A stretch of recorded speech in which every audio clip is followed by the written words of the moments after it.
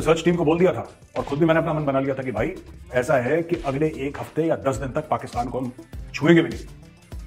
And videos doing fairly well कोई दिक्कत नहीं थी। उसमें व्यूज़ भी आ रहे थे, सब कुछ आ रहा था। लेकिन अचानक जब आपको ये बंदा बोले कि साहब, बाजवा साहब पकड़े गए with hand in the cookie jar मिठाई के डब्बे में हाथ डालते हुए बाजवा साहब की किसी ने फ़ोटो ले ली।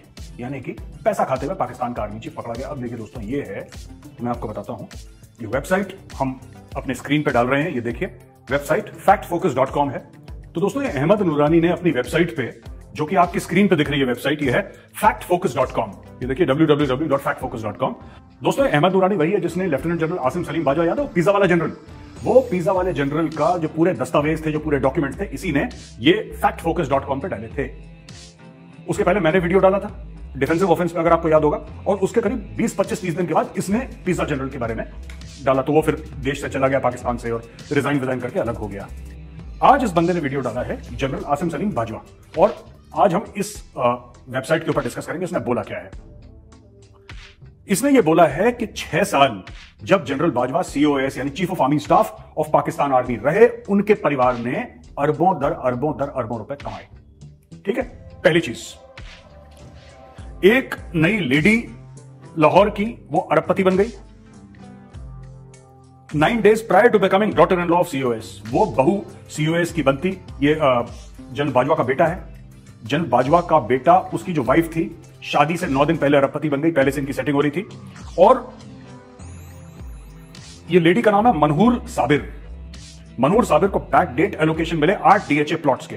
डिफेंस हाउसिंग जो अथॉरिटी है, जो फौजी जो लैंड ग्रैब करते हैं पाकिस्तान में और प्लॉट प्लॉट बना के बेचते हैं बड़े महँगे प्लॉट बिकते हैं इनको बहुत सस्ते मतलब जिसको कहते हैं कि रेसगाड़ी चिल्लड़ के दामों पे आ, मिलते हैं फौजियों को और फिर फौजी मार्केट रेट से ऊपर बेचते हैं प्रीमियम पे।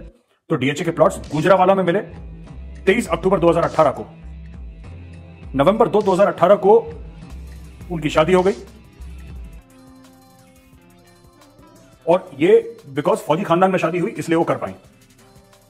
On the same day in 2018 उसी दिन this girl also became an owner of Constitution One Grand Hyatt apartment again the back date of 2015 2015 यानी कि दस्तावेज़। 2018 में 2018 में आ, ये जो लेडी थी मनहूर साबिर जो कि बहू है और आ, ये जनरल बाजवा की चीफ ऑफ़ आर्मी स्टाफ की इसको 2015 की तारीख से यानी कि तीन साल बैक डेट करके एक अपार्टमेंट मिला Constitution One Grand Hyatt apartment जो कि काफ़ी प्रीमियम काफ़ी लग्जरियस अपार्टमेंट माना जाता है। आ, ये प्रोजेक्ट था जो कि काफ़ी कंट्रोवर्शियल था, इसके ऊपर केसेस थे। लेकिन Saqib Nisar Saqib Nisar chief justice of Pakistan था। उसने इसको लीगलाइज करा। साकिब निसार वही चीफ जस्टिस था पाकिस्तान का, जिसने सब पाकिस्तानियों को बोला कि दस दस रुपए दो, हमें एक डैम बनाना एक बाँध बनाना है, फिर वो पैसे लेके फुल अमेरिका हो गया। ये वही साकिब निसार है, ठीक है? ये सब पीछे से मिले हुए आयशा ने यह भी बोला था net value of our assets during the previous financial year 2015 वो ज़ीरो 2015 में आयशा, जो जनरल बाजवा की वाइफ थी, वो कहती, मेरे पास कुछ नहीं है।